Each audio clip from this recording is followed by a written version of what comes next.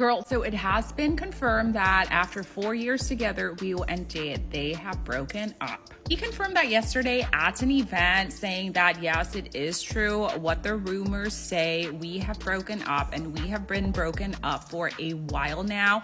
The reason we can't say, but it's the same as any other relationship. There are good times, there are times where we don't understand each other but we did try to adjust and find a solution. Both sides tried their best. So he detailed that the decision was made after talking, and they felt that one side was trying a bit too hard and it would be taking advantage of that side. Also confirmed that the breakup did not stem from any third party. It has nothing to do with Brang or anybody else. He said that the pictures on his IG and Brang's IG were merely for promotion of the Lakon that they are starring together. He said he did apologize to Brang because he understands that Brang got a lot of hate, a lot of attacks um, from this, and it's something that is not true. Status with Brang, we're just friends, we're just like good co-workers, and it's nothing more. That the relationship is something that they both cannot continue. If they do continue, it might be too exhausting for the both of them. And today,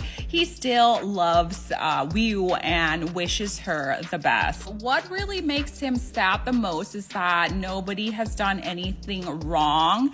We are just two different people and we can't find that middle ground to agree on.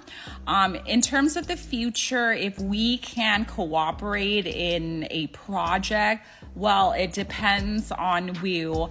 I just want her to be comfortable, and that is like a priority, and everything just takes time.